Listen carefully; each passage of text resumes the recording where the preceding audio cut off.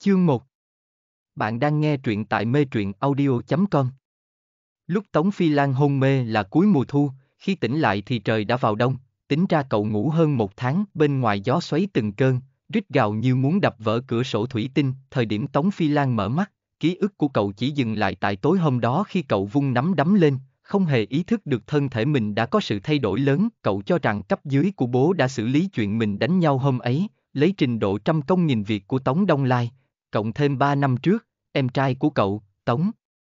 Phi Khanh chào đời, người cha vốn không biết trên đời này còn có một luật gọi là hôn nhân một vợ một chồng kia của Tống Phi Lan còn chẳng thèm quản cậu quậy phá trong trường học thế nào, Tống Phi Lan xoay xoay cổ, lắc đầu mấy cái, nằm lâu lắm rồi, người có chút cứng ngắc, chỉ có hai mắt coi như linh hoạt. Cậu quét một vòng trong phòng bệnh, chợt nhìn thấy có người đang ngồi bên cạnh giường mình, gương mặt nhìn nghiêng của người nọ rất đẹp, cơ thể cường tráng, trên mũi là một cặp kính gọng vàng, khoảng chừng 27, 28 tuổi, mặt tây trang. Tống Phi Lan đoán anh ta đại khái là cấp dưới của Tống Đông Lai, cậu đánh giá người trẻ tuổi kia trong chốc lát, trong đầu nhanh chóng tính toán cách công lược người này, Tống Phi Lan thử thăm dò há há miệng, thanh âm có chút khàn, mang theo giọng điệu yếu ớt làm nũng, gọi người bên giường một tiếng. Chú ơi, cháu khát nước. Người nọ đang xem văn kiện chợt ngẩng phát đầu dậy, quay sang nhìn cậu. Anh ta quả nhiên rất anh tuấn, người đàn ông tự hồ hơi kinh ngạc khi thấy cậu tỉnh lại, anh im lặng ấn nút gọi y tá trên đầu giường, Tống Phi Lan khàn giọng hỏi. Chú ơi, cái tên đánh nhau với cháu có làm sao không? Đào Nguyên bỏ giấy tờ xuống, rót một cốc nước từ bình nước bên cạnh đưa cho cậu. Tống Tổng, anh hôn mê đã hơn một tháng rồi, khoan hãy nói chuyện. Tống Phi Lan không chú ý tới cách xưng hô của đối phương, một đôi mắt quay tròn nhìn chầm chầm Đào Nguyên, vừa thấy thân cao ngất ngưỡng của anh liền lấy lòng nói. dáng người chú đẹp ghê, sau này cháu mà cao như chú thì tốt quá, chú cao được 2M không chú? Đào Nguyên không để ý đến cậu, Tống Phi Lan lại tiếp tục lải nhải. Bố cháu bận như vậy, chú xem. Cháu chỉ đánh nhau thôi, chút việc nhỏ này đâu cần báo cho ổng đâu nhỉ. Đào Nguyên quay đầu lại nhìn cái mặt 28 tuổi của Tống Phi Lan, nghĩ thầm, gầy như anh mà đi đánh nhau thì đại khái cũng chỉ cào được đối phương mấy nhát. Mất trí nhớ. Đào Nguyên đứng ngoài hành lang, câu mày tự hỏi trong chốc lát, bác sĩ sợ anh không hiểu, lập tức thuyết giảng một đống về chức năng của hồi hải mã. Một, Đào Nguyên nghe được một nửa liền ngắt lời bác sĩ. Có khả năng khôi phục trí nhớ không? Tại sao anh ta cứ khăng khăng rằng mình mới có 17 tuổi? Còn phải quan sát thêm mới biết được, hiện giờ chúng tôi chưa thể đưa ra kết luận. Bác sĩ đáp, Đào Nguyên vừa định nói gì thì cửa phòng bệnh chợt cạch một tiếng bật mở, một cái đầu xù xù từ bên trong thò ra, nói. Chú ơi, cháu đói, chú gọi cái gì cho cháu ăn được không? Được. Đào Nguyên có chút bó tay với Tống Phi Lan, nhất là lúc thấy cái mặt 28 tuổi kia gọi mình là chú, trợ lý Đào chỉ muốn xách cậu ta vào vê đúc xê soi gương, chờ đến khi Đào Nguyên mang cơm hộp trở lại phòng bệnh, trong phòng vệ sinh đột nhiên vang lên một tiếng kêu thê thảm. Đậu xanh rau má. Tại sao tôi lại biến thành thế này? Đào Nguyên đứng ở cửa VWC gọi một tiếng. Tống Tổng, ra ăn cơm. Tống Phi Lan chống nạn, y hệt như một con thỏ bị què lết ra khỏi nhà vệ sinh, mặt mày vẫn còn ướt nhẹp, một giọt nước tích lại theo mũi cậu nhỏ xuống. Trái tim thiếu nam vẫn chưa hết hốt hoảng, mở to hai mắt chỉ vào mặt mình hỏi. Sao mặt cháu lại già chát rồi? Lúc đánh nhau rõ ràng có che mặt mà, đào nguyên nhìn cái đầu còn cuốn băng gạt trắng muốt của người nọ, một lúc lâu sau mới lên tiếng. Tống tổng, không phải là anh già đi, mà do anh bị đụng xe nên mất trí nhớ. Tống Phi Lan khựng lại, hệt như đang yên đang lành bỗng dưng bị cả thế giới tác cho một phát, cậu cảm giác mình sắp ngất đi, cả người đều hỗn loạn, cũng không hỏi vì sao mình bị đụng xe, Đào Nguyên nhìn cậu chầm chầm sợ cậu té xỉu, may mà Tống Phi Lan mới tỉnh lại, vừa đói vừa khát nên não tạm dừng hoạt động, cậu chớp mắt một cái, sau đó bất chấp tất cả ném nạn đi, ngồi xuống ghế salon vừa mở đồ ăn vừa tức giận nói. Cháu không có mất trí nhớ, cháu xuyên không, nhất định là cháu đã xuyên không. Cậu ăn một muỗng cơm, sau đó bỗng nhiên ngẩng đầu hỏi. Chú này, bố cháu đâu? Tống Động, hai, mấy hôm nay đang đi công tác ở châu Phi, chắc cuối tuần mới về. Đào Nguyên đáp, phù, Tống Phi Lan thở ra, sau đó biểu môi hỏi tiếp. Vậy mẹ cháu thì sao? Không phải Tống Phu Nhân, là mẹ ruột cháu ấy, cháu nằm viện lâu như vậy mẹ cháu không đến thăm cháu à? Đào Nguyên thẳng tắp đứng đó, nhìn thấy ánh mắt đơn thuần sáng lấp lánh kia, anh mấp máy môi, sau đó im lặng.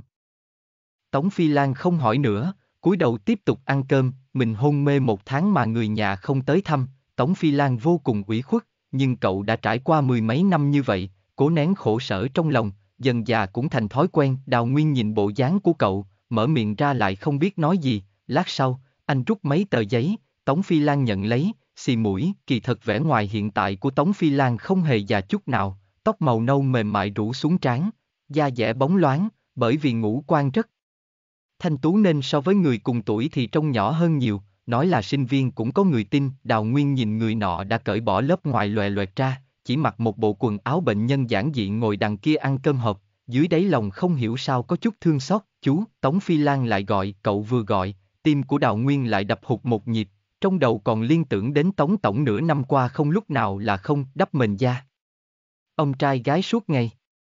Tống Tổng, anh đừng gọi tôi là chú nữa. Thế phải gọi là gì? Gọi anh hả? Anh Đào. Tống Phi Lan vừa nhét cơm vào miệng vừa nói, trong âm thanh mang theo giọng mũi.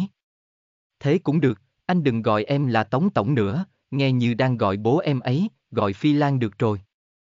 Đào Nguyên im lặng, thật ra anh còn nhỏ hơn Tống Phi Lan một tuổi có được không? Tống Phi Lan bỗng nhiên có chút chống đỡ không nổi nữa, bỏ đũa xuống, hàng mi dày như cánh quạt chớp chớp, môi cũng run rẩy, hai mắt rốt cục vẫn nhịn không được mà đỏ ửng. Sao tôi đột nhiên biến thành ông chú 28 tuổi thế này, tâm tình bi thương của thiếu nam giạc dạo kéo tới, Tống Phi Lan cố nén không rơi nước mắt, Đào Nguyên hàng năm luôn sinh hoạt độc thân, đã quen tay trái trợ giúp tay phải, kỹ năng an ủi không quá thành thạo, anh nghĩ nghĩ, cầm mấy tờ khăn giấy bước qua, nghẹn một lúc lâu mới phun ra được một câu. Kỳ thật cũng có chỗ tốt mà. Ít nhất anh không cần lo chuyện đánh nhau nữa, Tống Phi Lan ngẩng đầu nhìn anh một cái, không đáp, cậu xoa xoa mắt, chờ cơn tuổi hờn đi qua lại cầm hộp cơm lên ăn, anh Đào là cấp dưới của bố em à. Đào Nguyên vừa nhìn cậu ăn vừa lắc đầu nói. Không phải, tôi là trợ lý của anh, vừa nhậm chức được nửa năm. Tống Phi Lan gật gật đầu, không biết là đã chấp nhận sự thật hay chỉ là sự bình yên ngắn ngủi trước cơn bão, lại hỏi. Em là sếp của anh hả? Ừ, anh là tổng giám đốc của công ty hữu hạn truyền thông Hoàng Vũ. Chủ tịch công ty là bố em đúng không?